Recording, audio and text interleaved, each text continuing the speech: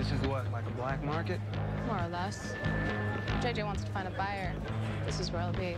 I got a number, I got a name, I got a target, it has a face. I'll check it back. As as ice. See, I still don't get it. Your dad was Bronze Tiger, and you turned out okay. I mean, kind of.